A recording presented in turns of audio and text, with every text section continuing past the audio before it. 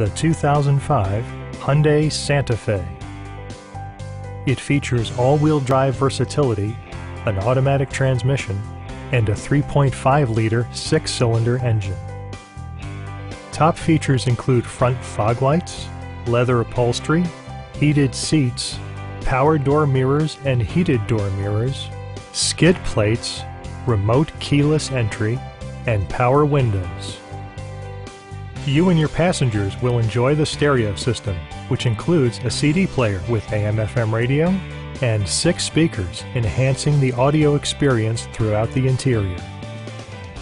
Safety equipment has been integrated throughout, including dual front impact airbags, front side impact airbags, traction control, a security system, and four-wheel disc brakes with ABS.